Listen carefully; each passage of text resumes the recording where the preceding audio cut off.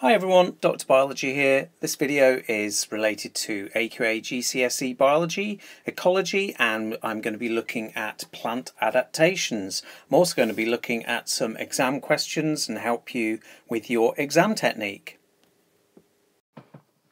Okay, so here is a quick spec check. So this is the specification and you'll see that you need to learn about how organisms are adapted to living in their natural environments and about uh, learning about the different features that enable them to survive the conditions in which they normally live. So this is three things, three types of adaptation, structural, behavioural or, or functional.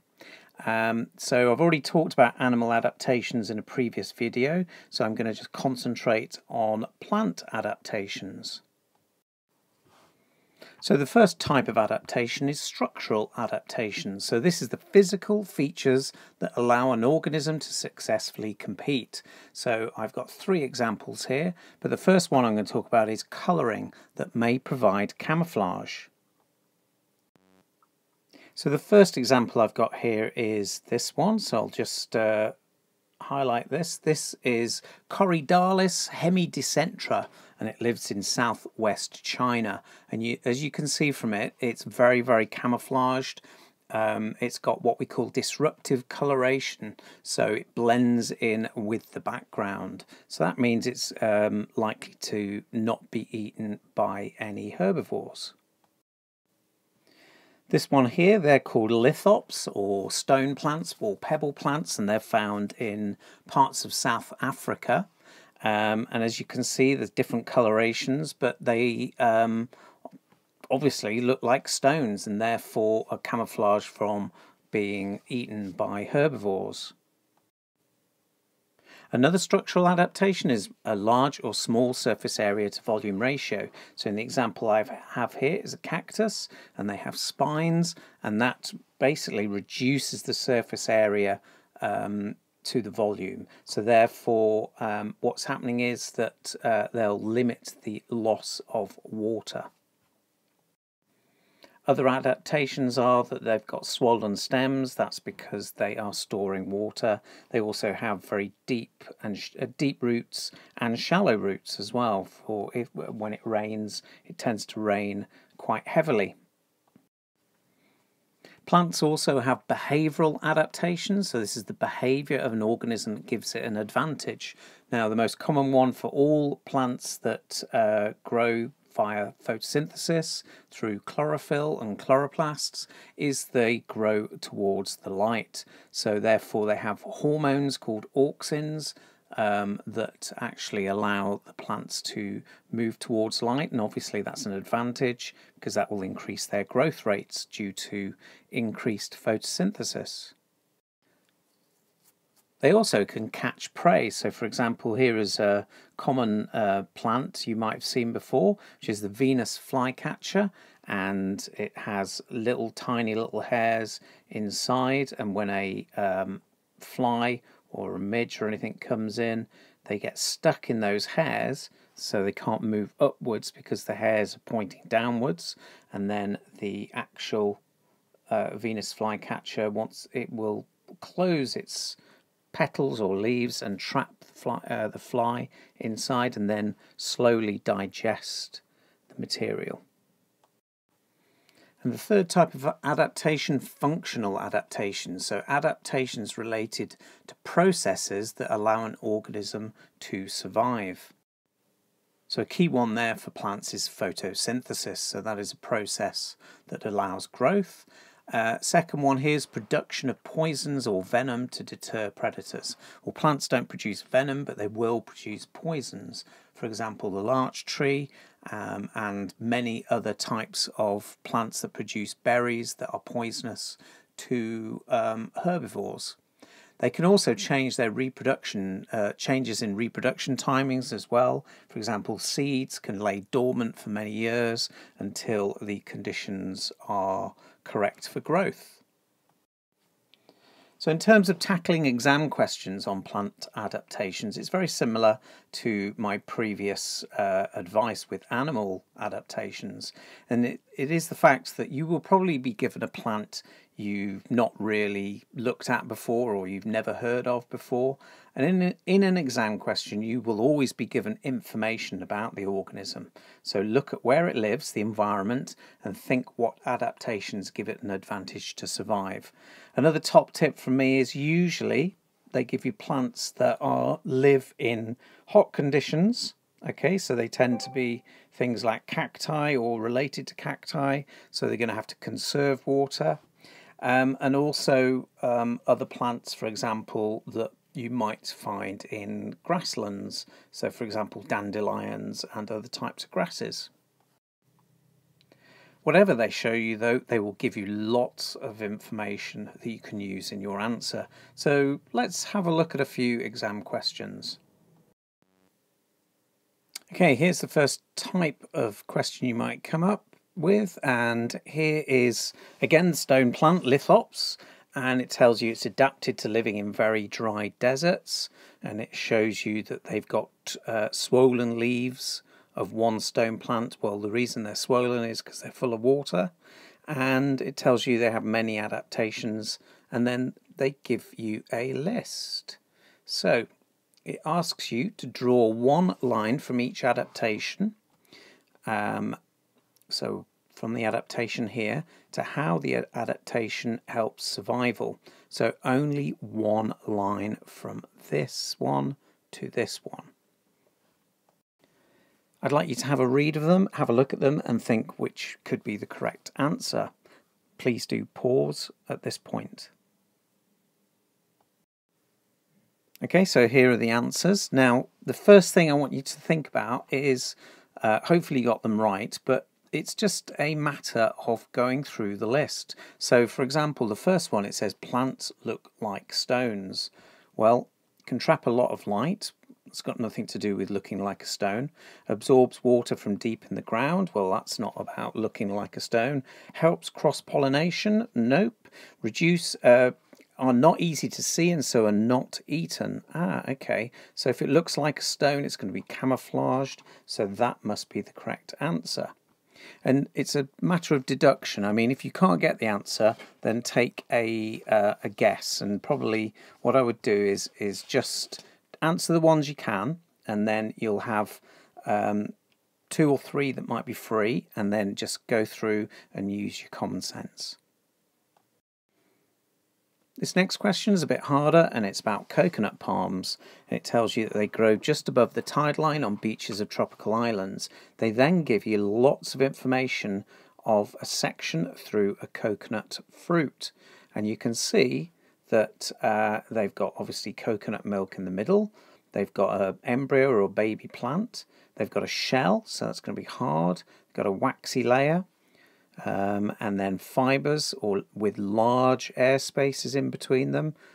Okay, and then white coconut flesh, which is a large food store. Now, as it says in the question, the, the coconut palms grow just above the tide line. So therefore, the coconuts are going to fall down and they're going to fall into the sea and then probably spend a period of time drifting on the sea currents to other beaches. So we read the uh, stem of the question. So this is the stem and it says the sea carries the fruit to new parts of the beach, and that's something I just worked out. And it says the embryo then puts out its first root. Fresh water and nutrients are very deep down under the sandy beach. So it says explain three ways in which the coconut palm is adapted so that its embryo plants can spread and survive. So again, I'd like you to pause and uh, get a pen and piece of paper and write down some answers. So for all your answers, you can use the information that they give you. So for example, I'll give you the first um, answer, and it's related to the fact that trees hang over the sea. So they're hanging over the sea, um, and why is that an advantage? Well, the coconuts drop into the sea. It's important to state you can't just say they then spread. You've got to say that they drop into the sea and therefore carried off by the currents of the sea. Another answer is about the waxy layers or the fibers. Okay, so you've got wax layers and fibers, and they have air spaces. Well, if it's going to drop into the sea, then it's going to stop the coconut from sinking. Once the coconut is on the side of the beach, then it's going to need a source of water. Well, luckily, the coconut contains lots of water, so it has a water store, so it supplies enough water to the developing embryo until the root reaches a supply of water. It also has a nutrient store, it's got a large food store, and that will supply nutrients until the root reaches a supply of water. And the last thing is the shell. So the outside shell here and the inside part of the shell is very hard, so it protects it from breakage on landing, or it protects the embryo when it's growing downwards into the sand. It protects it from um, the um, from feeding animals. Okay, so here is the mark scheme. Um, I'd probably pause it and have a look through the mark scheme. So hopefully you can see that obviously you know very little about coconuts and how the developing embryos may uh, grow, but it's just using again a bit of common sense and using the information that they've given you and trying to explain why that gives the coconut an advantage in terms of growing a new embryo, a new plant. So next question, and it says dandelions have become adapted to live in lawns and grass areas where animals graze. And it says goosegrass, however, has become adapted to live alongside hedgerows and cannot survive being mown. So they've given you important important information there that it can't survive. So this one doesn't survive where the grass is being cut, basically. And the question says use the information in the drawings to suggest one advantage of each of the following adaptations. So they actually give you the adaptations, but you've got to say one advantage for each. Again, I'd like you to pause and write down your answers. Okay, so uh, looking at the answers, so the first one, the dandelion leaves lie flat on the ground. Well, that will give it an advantage because it won't be damaged by the mower. So it will go under the mower. Okay, so that's the first answer. Uh, secondly, a dandelion has a thick tapered root. So there can be many answers for this. Um, a thick tapered root basically means that it will mean that it's uh, gives it good anchorage in the soil, so it's hard to pull up or it could reach down further than the grass in terms of getting to water. Um, it could be a store of food because it's quite thick, um, or it can force its way through the grass roots um, in terms of outcompeting grass roots. So as you can see, there's many different answers there. Thirdly, goosegrass stems are long. Well, the reason they're long in hedgerows is to reach more light. Um, that's the main competition aspect because they're competing against other plants. It could also to let seeds be caught on animals' coats, as you can see in the diagram. You can see that they've got seeds that are going to be um, on long bits of the leaves. Um, and also it could mean that they would uh, be seen more clearly by pollinators such as bees. It then discusses goosegrass roots are thin and very long. Well, they're going to be thin and very long because they're going to increase the surface area. Um, they're going to uh, allow the roots to find water. So obviously I'm going through quite a few adaptations there, but you would only need one advantage. So I'll show you the mark scheme. So when looking at the mark scheme, remember you only need one advantage. You don't need to be writing everything that is down there. So you only just need one point. So one point equals one mark. Sometimes they'll give you uh, questions where they won't just talk about plant adaptations, they might actually include other parts of other topics.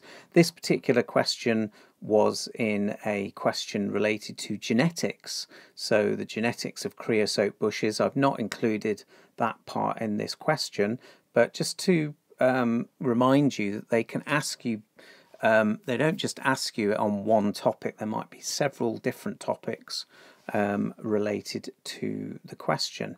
Anyway, so it says animals and plants are adapted in different ways in order to survive. So plants may have to compete with other plants. It says name two things for which plants compete. So that's really about photosynthesis. Then the next question, it says the drawing shows a creosote bush.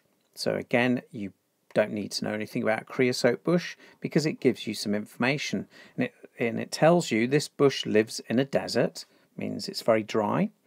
Um, the creosote bush produces a poison that kills the roots of other plants.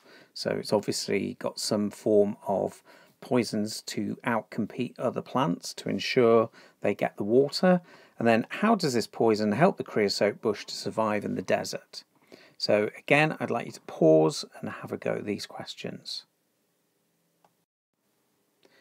So first question about plant competition. Will they compete for light, water, space and nutrients? You only need two of those for two marks, okay? Um, notice it says ignore oxygen because they're not competing for oxygen because they're, they're photosynthesizing. Um, and they're not competing for food or sun or carbon dioxide because those levels will remain, the carbon dioxide levels remain stable. Or the reason they're not competing for food is they're making their own food, and the sun, well, they're not competing for the sun, they're competing for the light that is released by the sun. And then the second question um, so, why do roots produce poisons? Well, it reduces competition for water, or um, it means that more water and nutrients or minerals are available to the plant. So that brings us to the end of this video on plant adaptations. Uh, please do subscribe if you haven't already. Um, I hope you've enjoyed it. There'll be more videos coming shortly on this section of ecology, um, and I will see you soon.